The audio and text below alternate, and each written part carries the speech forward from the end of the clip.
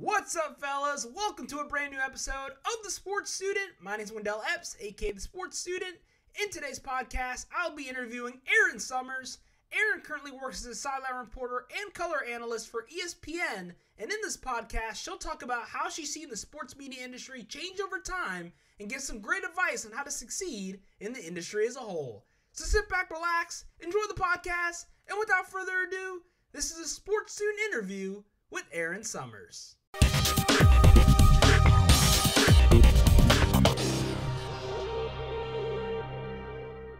Ladies and gentlemen, welcome back to another episode of The Sports Student. My name is Wendell Epps. Today, I'm delighted to be joined by Erin Summers. Erin, thank you so much for coming on the podcast today. Yeah, I'm so excited. I always love talking to young, upcoming broadcasters. It's really fun. The energy is always good. You guys are excited about the business, and I'm happy to share whatever I can. Yeah, definitely. So, like, first thing first, like, how's your summer been going? Uh, what have you been kind of doing with the whole sports media around this summer?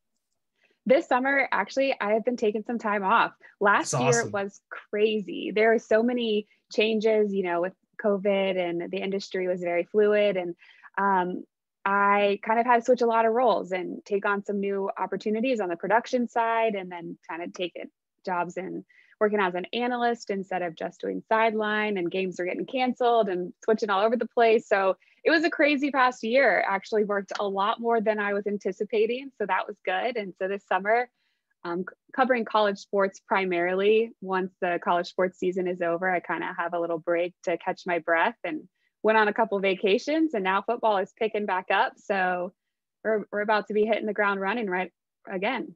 That's very cool. Uh, what was your uh, favorite vacation this summer? I went to Colorado to Steamboat Springs. It's beautiful out there. I know everyone talks about going going skiing during the winter, but I say go during the summer. You can go hiking and biking on the lake, and it's beautiful. That's fantastic. Definitely sounds like a fun trip. So if you could just go ahead real quickly and just like give a background of like where you started, where did this love for sport and sports media come from, and where you are now? From a young age, I always liked watching sports. I was the first of three girls, and my dad played at Cal Berkeley. He played football there. So he kind of had sports in his nature. And my mom went to Oregon. She's a die-hard Duck fan. And we watched a lot of Pac 12 football, basketball. And then I grew up in San Diego. So we watched the Chargers a lot. And I just loved it. You know, I loved sitting on the couch, hanging out with my dad on the weekends, watching games. I thought I was so cool. And um, as a little girl, I didn't really understand the game, but I would like listen for things. And so every time I heard a whistle, I'd be like, oh, flag, flag, penalty. And they'd be like, what are you talking about? And they're like, oh my God, Erin, how did you know that? And I would just listen for the whistles, right? So um, I learned a lot watching, hanging out with my dad and my uncles. And unfortunately, I'm not as athletic as my dad was. And he didn't really understand how to help me become better or more talented. Uh, so I decided that um, going professional in sports was not going to be it for me. I have to do it on the broadcast side. And so I went to UNC Chapel Hill, studied journalism, and started working everywhere I could after that.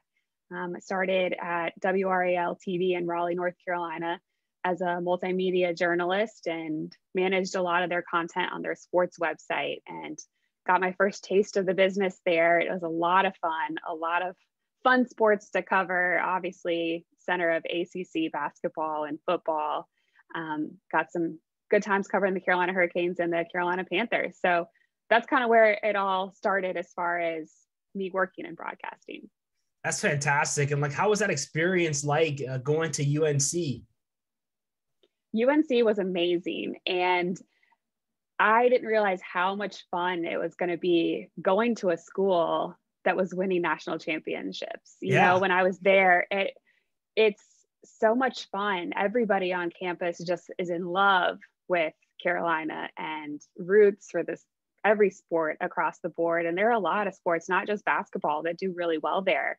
So, you know, I kind of got a, a, taste of field hockey and lacrosse and was going to all these different events. Um, and it was really fun. And to be able to cover that caliber of talent and that level as a student, you know, with our student run TV stations and the newspaper there on campus with a daily Tar Heel, was really fun. I was spoiled and I didn't even know it. yeah, North Carolina, like the school itself and the entire state, like it's just fantastic. It's definitely a, a sports state. I mean, me going to college now in North Carolina, I've definitely been able mm-hmm. to, to witness that, which is super awesome. And for you, like you've been in the sports media industry now for, for quite a while. Like how have you seen it change since you first entered it?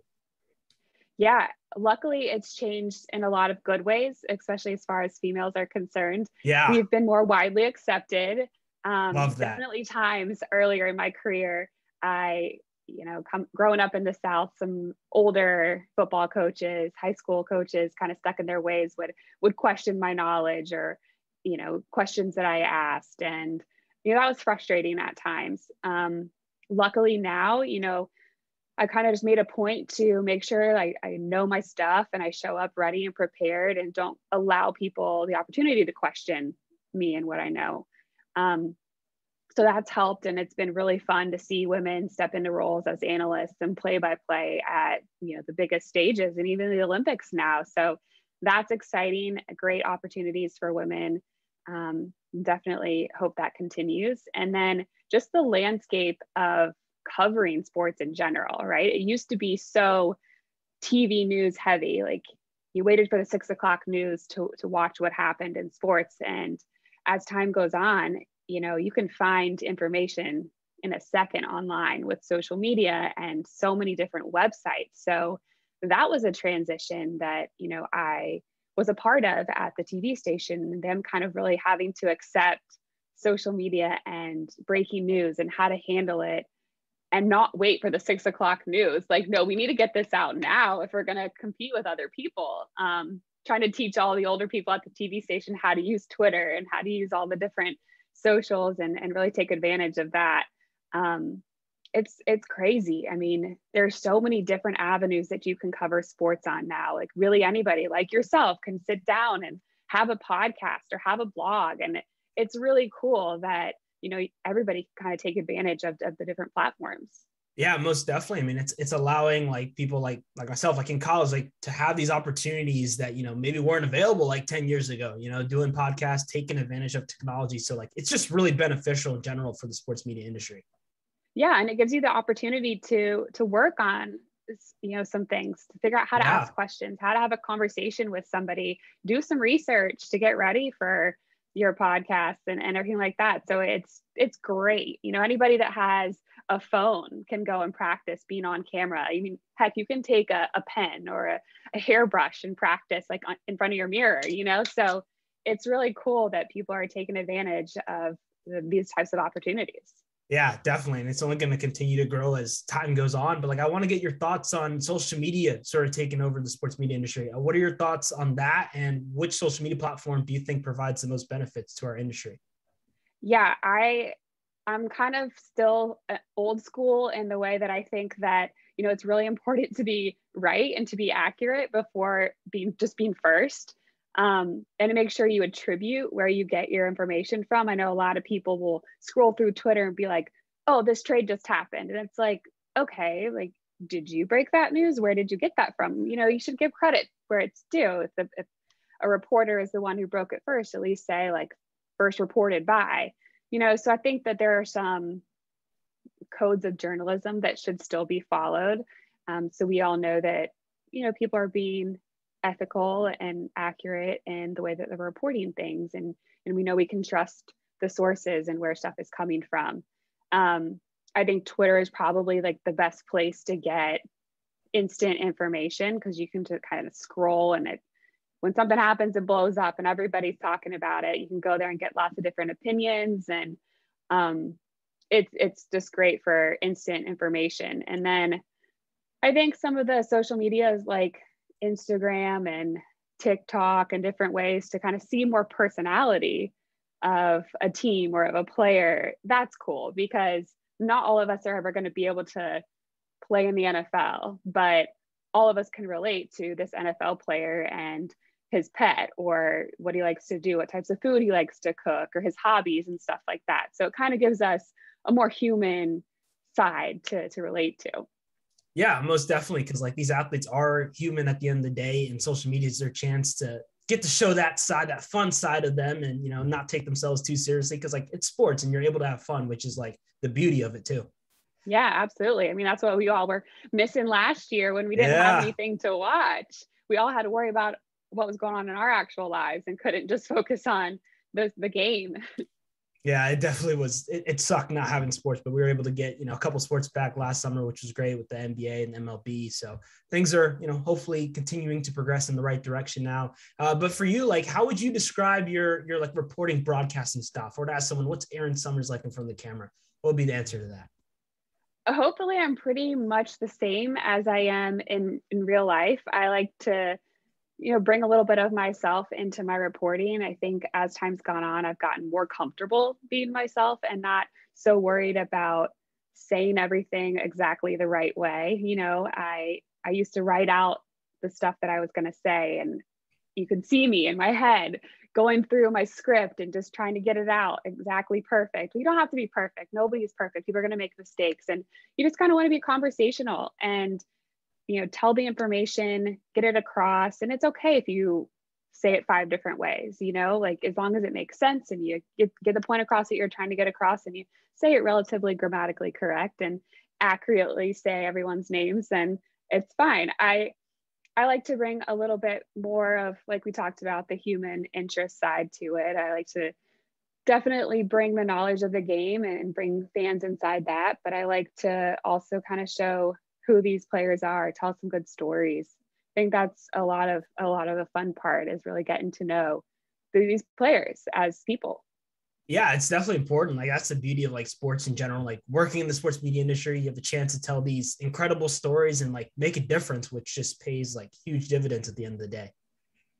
It's definitely fun. There's a lot of really heartwarming stories out there and a lot of tough situations that people have you know come out of. And i think it's it's really cool. It's inspiring and you can really learn a lot and you know be motivational for other people that want to see themselves in those positions one day. Yeah exactly. And like what, what would you say is like the most memorable story you ever done in your sports media career? Gosh um at a lower level here there's a high school player who had leukemia and he was playing and you know was diagnosed and it wasn't looking good for him but he worked really hard. He beat it and he was able to come back and play football again. And it's incredible you know he lost 90 pounds for him to be able to come back and compete on a football field as physical of a sport as that is. And you know he didn't go on to play in the next level but he was able to elevate into a coaching role. And it was just really cool that you know it, was his desire to get back on the football field and, and be around his teammates and the love that they had for him um, really helped kind of push him through and be able to defeat that situation and and overcome it. And it's just that's what sports can do for people too. It gives them a little bit um, added incentive sometimes because of the camaraderie and people just how much they love being a part of that team yeah that whole like teamwork aspect it applies in you know when you're playing sports and even when you're covering sports too because like you're working with with so many people too. Uh, for you like who have been like some of the like best people you've worked with throughout your time in your career and how they helped you like develop your skills in the industry?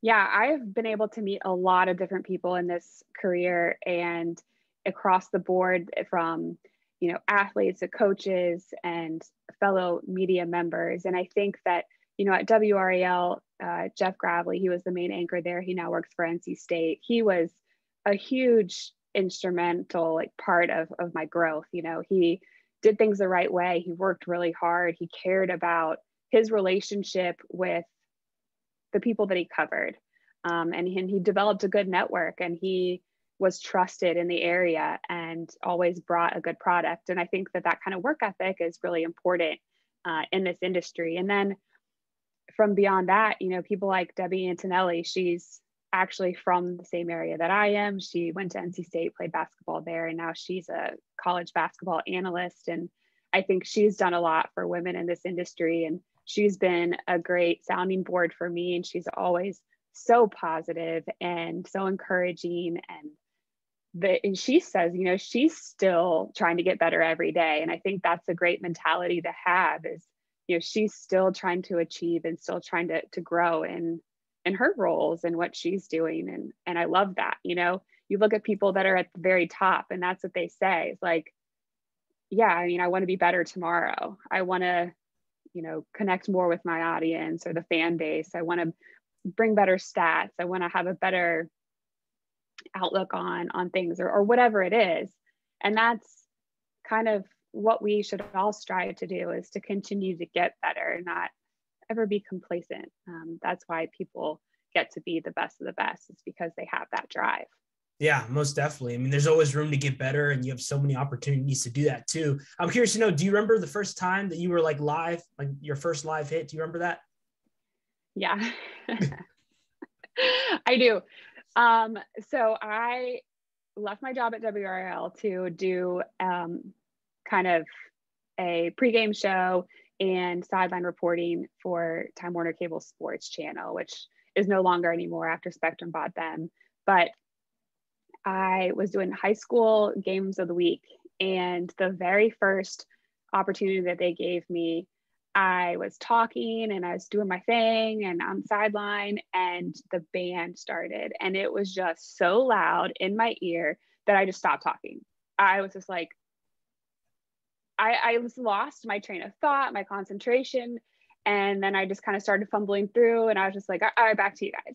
And it was so embarrassing. And looking back at it, it, it happens, you know, it happens at the highest level. People stumble over their words and they stop talking. But, you know, there's a stuff that sits with you and you're like, man, like, what do I need to do that that never happens again? And so you learn how to not let the outside factors become a, a you know, have an impact on on what you're doing or have an effect. And and there's so many different things that happen as far as technology you know messing up you know you lose you can't hear you know the producer in your ear anymore you have no connection with the truck and so you're kind of out here blind and you're just trying to add to a broadcast and work with your camera guy to have him tell them when you have something. And there's you just gotta kind of roll with the punches and not be so hard on yourself. And i think that over time, I realized that you're just not going to be perfect every day for whatever reason. And you kind of just got to make the best of it.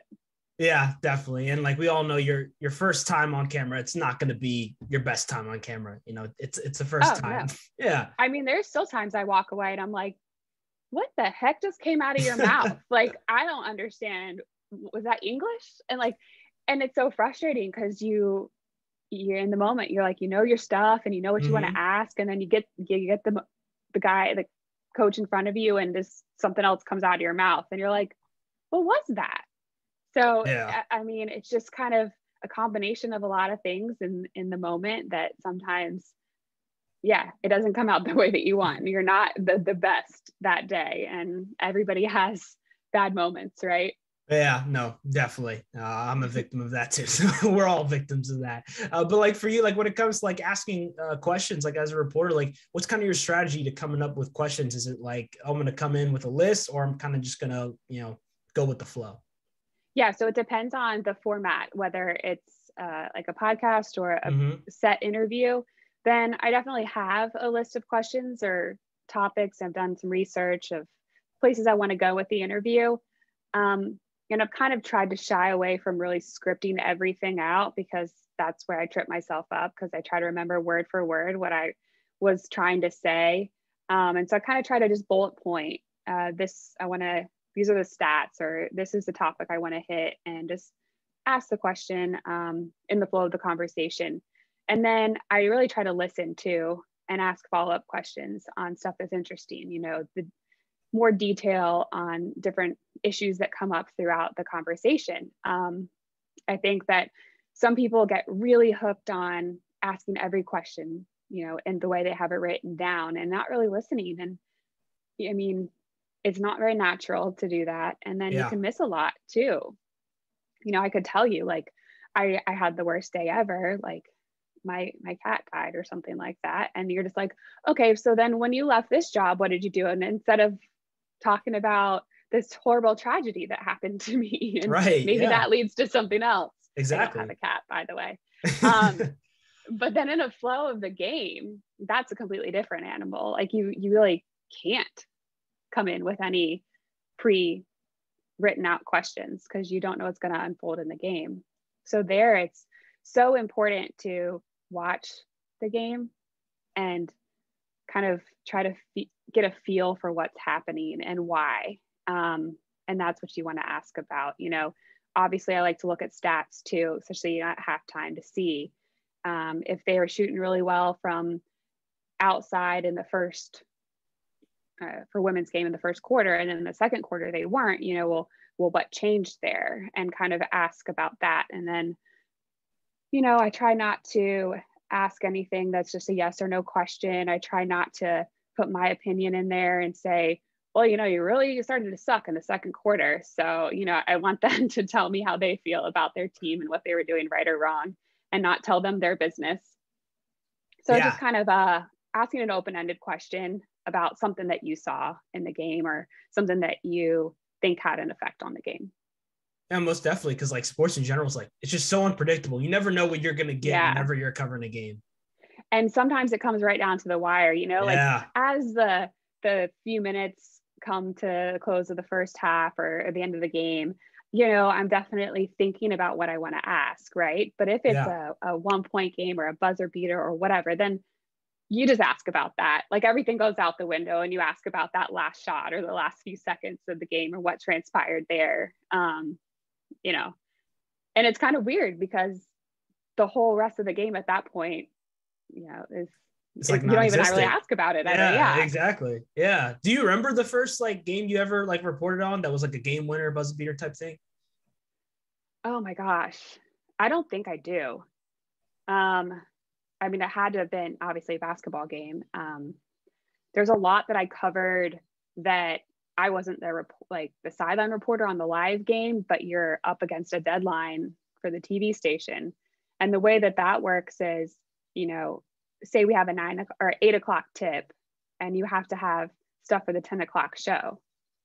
Well, you know, you can do the math. Like exactly at halftime, I I run to the locker room, I throw some clips in, send them to the TV station from the first half, and hopefully one team is winning by a lot and we're good.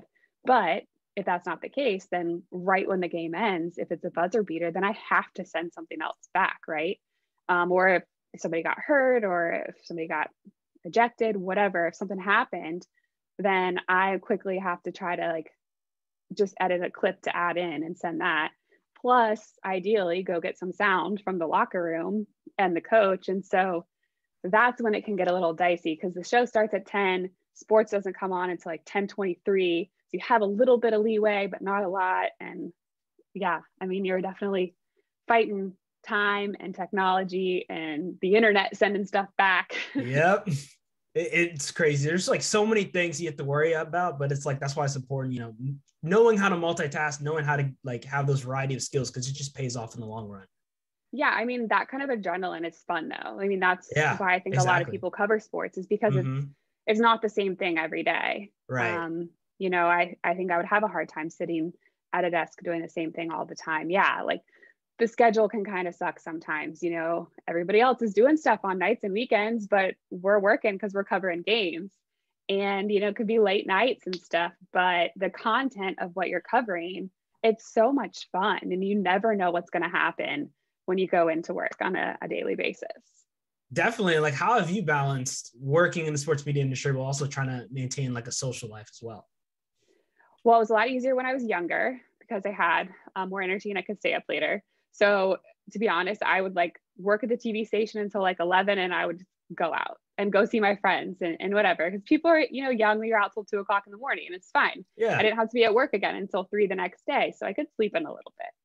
But then as i started having to you know, I was on air more and reporting, like I needed to have a little more healthy work life balance where I'm not, you know, going out as much and I'm sleeping and taking care of myself and making sure that I sleep, you know, am prepared going into the games. And so, yeah, you don't have as much free time then because you're kind of working and preparing leading into the actual day that you're working or the game that you're working. Yeah. So it's a lot of um, time management. You know, you have to kind of make sure that when you do have a day off, you make the most of it and you go see your parents and your sisters and, and your friends and and do stuff on the days that you can. So when you're busy they're not nagging you and saying well exactly. we haven't seen you in forever. And like well you know what? Guess what? You know turn the tv on. I'm working. Like i don't understand it. Like my my mom still doesn't get that i work at night or I'm like, mom, you watch sports. Like, right. I don't know why this is a concept you cannot understand. yeah, it's, it's like the same thing for me too. Like, um, because you know, I announce games like on, on ESPN Plus for for my school, High Point. Like, my parents, yeah. my friends, they, they could see me like on TV. Like, just just open the ESPN app and like watch me. You know, yeah, so it's one of those things. But like, um, uh, for for you, like, what, what's your favorite activity to do on off day? Um, I mean, I love watching sports. I'm a junkie, so especially um, like I said, during college football season, I cover a lot of college uh-huh. college sports. So on Sundays, that's like my day to relax and watch NFL and kind of enjoy it mm-hmm. and not mm-hmm. have to be thinking about how it affects you know the college football landscape and, and this team that's going to be playing this person next week and whatever like i really can just be a fan and enjoy that so i love doing that i love you know, going out, having a nice long dinner, taking my time, you know, doing the whole like appetizers, main yeah. Oh, course, oh, you yeah. know, dessert if it's that's the best thing know, ever. Yeah. yeah. so I just just try to like enjoy the the time that I do have to do that stuff. And I like to get outside, like to work out. You know, pretty pretty difficult stuff yeah, that's that's fun stuff. And like I'm gonna yeah. I'm gonna put you on the the spot here with the NFL and NBA. I want you to give me your your Super Bowl prediction and next year's Ooh. NBA Finals prediction. I know it's early, but yeah, I'm curious. Well, I mean, so obviously, like everybody thinks the Bucs are, are going to repeat, um, and I I can see them doing that. So if uh, Brady can stay healthy and everything kind of kind of continue to roll as it is, then I think they're in a pretty good position. And then for the NBA, you know, Lakers making a the blockbuster deals and adding Russell Westbrook, and that kind of gives LeBron James, you know, helps with his load management, gives him another point guard for the team. Like I think the Lakers are poised to do it as well. Again, if the team can stay healthy, uh, they need to add a, another shooting threat. I think, Definitely. and if they can do that, um, somebody that can really just be a catch and shoot guy off the ball, uh, then yeah, I think the Lakers yeah, no, I, I, like that. Yeah, I think if the Lakers maybe add someone like Carmelo Anthony, I was thinking. Yeah, yeah. I mean, they need somebody that can shoot the three like consistently. That's true. Yeah, there's a couple good shooters out on the market uh, this yeah. summer. So yeah, we'll see. We'll see what happens with that. Um, but like uh, for you, is that what else are you like hoping to achieve in the sports media industry? Like, what, what else are you trying to gain out of your career here? Well, I think kind of everybody likes to continue to feel like they're taking a step forward yeah. whether you know where you're at right now doing you know espn plus broadcasts working for your school maybe it's a, a step into a quote unquote better conference or mm-hmm. a power five conference where you're starting to cover those types of teams um, if you don't have like a favorite sport that you're trying to trend towards then i think me personally i have done a lot of college and I would love to start working in the pro market and cover some pro teams a little bit more. Um, other than that, the natural progression of you know doing school broadcast and then TV broadcasts and network regional network broadcasts and then you know national broadcasts. So I've done a couple at all the levels, but just kind of trying to more consistently be at a higher level. Yeah, I love that. I think that's what it's all about, like continuing to find new ways to grow uh, mm-hmm. because mm-hmm. you have so many opportunities to do it. I have to ask you, do you think uh, college basketball is still the best route to, to go to if you're trying to get to the NBA? Yeah. I mean, it's this industry is so crazy because there's so many different ways you could get somewhere. I think that if you want to work in the NBA, then you could either start as an intern at a really low you know level just being a, mm-hmm. a college intern doing stats or doing communications or something yeah. for them and, and start trying to meet people that way and right. network and, and move your way up as long as you're getting experience on air elsewhere you know because you can't exactly. just be running papers around and then yeah. all of a sudden they're going to put you in the radio booth um, you have to make sure you're getting the experience and progressing working on your actual craft that you want to do um, and then yeah i mean if you start on air at a collegiate level and then like we said try to move up conferences or mm-hmm. move up um, the more widely uh, watched uh, teams and stuff like that to kind of get yourself out there more and make an impact that way. It's a lot about networking though. It's a lot about calling people emailing people putting yourself out there going to events just saying hi showing somebody who you are face to face which we can do again. And you know kind of sending your stuff asking for feedback and and showing that you're willing to put in the work and you want to get better. And um, it's hard because a lot of times you don't hear anything back. And that's going to happen. There's so many people out there that want to do this and they probably get inundated with emails and people reaching out so yeah i mean you're not going to get an answer back every time but you are going to find some people that will uh, will help and who will be in your corner and want to help you get better and, and help make connections for you. And and you just kind of got to take those opportunities when you can get them yeah most certainly. And i think that's also what i really admire about the sports media industry. It's like you know you're here to help each other. Like everyone's just trying to help each other out at the end of the day. So it, it's a competitive industry but it's an industry that if you have the right mindset you know you can definitely go far in yeah it's it can be tough at times. You're going to hear mm-hmm. a lot of no's, and yeah. you really have to be certain in what you want to do. Um, right. It's it doesn't pay great uh, for a while, and you know, like we talked about, the hours aren't the best. But if you really love what you do and you have a passion for it, and you're you're kind to people, and you show up and you do a good job, people are going to notice that. You know, um, and I think eventually that will get you where you want to go. Yeah, no, most definitely. I totally agree with that. All right, Erin. Well, I want to go ahead. I want to end this interview with you, asking you a couple rapid fire questions if you're up for it. All right, let's go. All right, let's do it. First question here. If you could have any superpower, what would it be? To teleport. Nice. Uh, where would you teleport to? The beach right now, like some tropical beach. I mean, I have the weekend fun. off. Like, let's hey, go. yeah, beach it is. All right, next one for you here. Um, what's one food you can't live without? Oh gosh, uh, maybe pizza.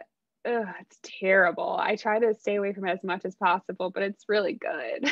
oh, pizza is good. Do you, uh, I have to ask you? Do you think pineapple belongs on pizza? No. No. no, but see, I am a person that like I'll put fruit in my salad for sure. Uh-huh that's fine. But I don't know. I've never gotten behind the the pineapple fruit pizza thing. Yeah, no, same here. Uh, what's one city that you have not been to but you like to visit at some point in your life? Um, I have not gone a lot of places overseas. I studied abroad when I was in college, so I studied out of London and was able to kind of travel around that area. But yeah. I would love to go to you know somewhere Greece, Sicily, nice. know, Italy, somewhere like Rome. I don't know. I just I feel like I need to get to Europe and explore a little bit more. So that would be that. Uh, obviously, I've never been to, Canada, so um, Vancouver, Montreal, I think would be fun too.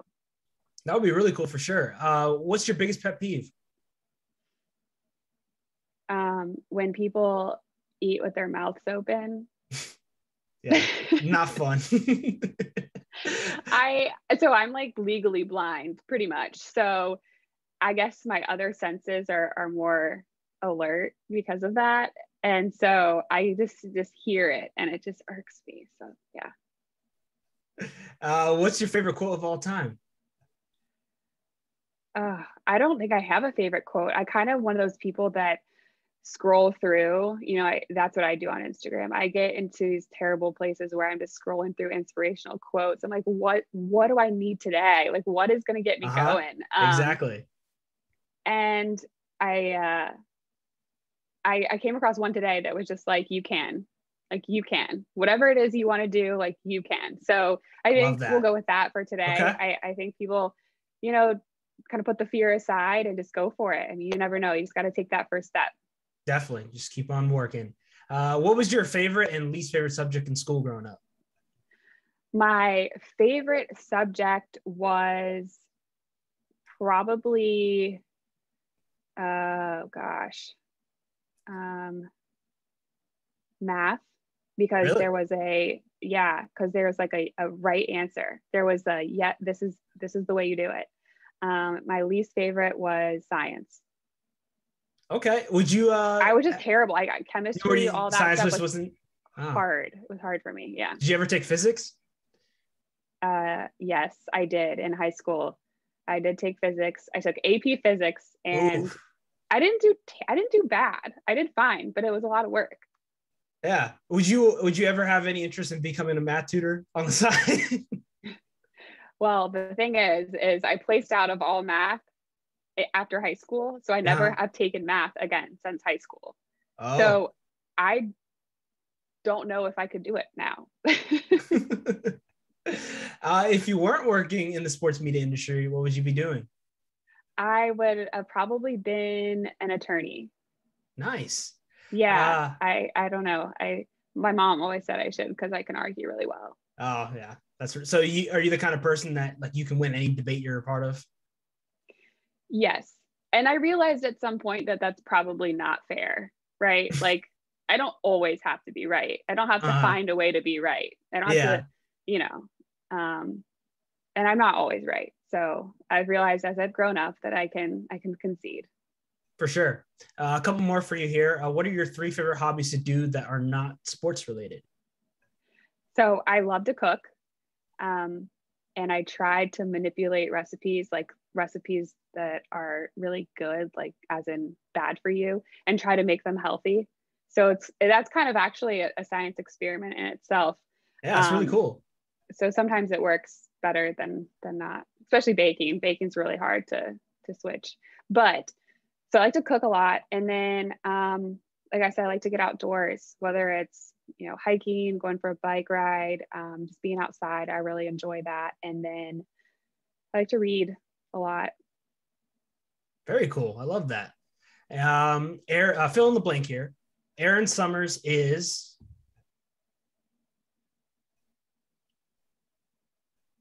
Oh my gosh, that's so hard. just that be one word? yeah, one word. Nice. Okay, nothing wrong with No. I, I mean, I feel like I'm I'm a pretty like outgoing person. So maybe outgoing. Okay. I, I feel like I can kind of talk to anybody and I and I want pe- all people to kind of feel like accepted and Mhm. um so I like to relate to people any way that I can to kind of, you know, I don't know, develop a connection with different people. Yeah, definitely. That's awesome. Uh, if you were, if you had to enter a talent show, what would be your talent?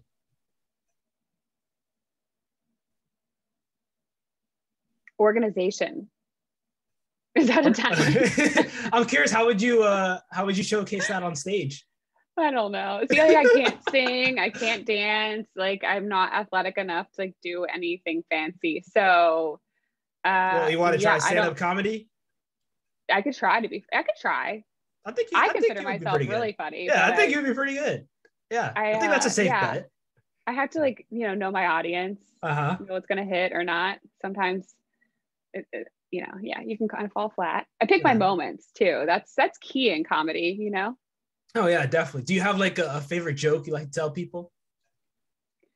No, no, I'm not a corny joke person. I'm like pretty sarcastic, and so um, eh, I'll I'll listen and stuff that people talk about, or um, I'll wait and I'll throw it in like later, and they're like, "Oh my god, like ouch," and I'm like, "Well, I mean, sorry, I don't know." So I'm kind of I kind of use people's stuff against them, which is terrible. Maybe I'm not nice. Uh-uh. Nothing wrong being, you know, a little funny and sarcastic every now and then. yeah. and last question for you here: What's one fun fact a lot of people do not know about Erin Summers? I was a dramatic arts major in college in acting. Nice. Yeah, So would you so- would you ever want to like uh, act like in a show or movie? Yeah, yeah, that was my original plan. And my mom told me that I might need a backup plan. So then I picked being an, a journalist, right? Because broadcasting is just as easy. Exactly. yeah. In front of the camera kind of thing. So yeah, pretty, pretty straightforward. It was ask you- pretty. It was pretty similar, but it's definitely a hard career path. It's not Yeah. a, safe second bet by all means. Yeah, no, definitely. So like if you did have your own TV show, like what would it be about and what would your character be like? Um, I think it would be really fun to do a show about broadcasting. I don't think there's really one that follows No. you know, what it is really like for uh, a broadcaster coming up and the situations that they kind of ha- have to find themselves in every day, whether it's trying to track down a story or a mm-hmm. person or chase a deadline um, or just a live game, things that can happen. You know, I don't know. It'd be kind of fun story to to follow. So obviously something I'm familiar with, and I think yeah. I could do a good job playing that role. Oh, that's a great concept. I definitely would binge watch that kind of show. I think there's a lot of cool yeah. storylines you could take with that. Yeah. Absolutely. I know they've done like agents and kind of followed that. Uh-huh. They've done stuff with professional athletes and everything, but they've done news, the newsroom or whatever that was. They've done news shows, but never like a sports broadcaster. Mm-hmm. Yeah, no, that'd definitely be really cool. All right, Erin Well, thank you so much again for coming on the podcast today. I really appreciate it. I mean, you have done incredible things in the sports media industry. I'm a huge fan of yours and just keep up the great work. Thank you so much. I enjoyed the conversation. All right, fellas. So that was a sports student interview with Erin Summers. Hope you guys enjoyed it. If you did, make sure you guys leave a like, comment, subscribe, turn on those post notifications so you don't miss a single episode of a sports student interview. This series has been taken off, and I am just so grateful for everyone's support. It means the world to me, and I just can't wait to continue releasing new content to you guys. But that is why it's so important that you guys like, comment, subscribe, and turn those post notifications on. Please do because it pays off in the long run. So thank you so much in advance for doing that. And I will see you guys in my next episode. All right, y'all, take care. Sports student, signing out. Peace.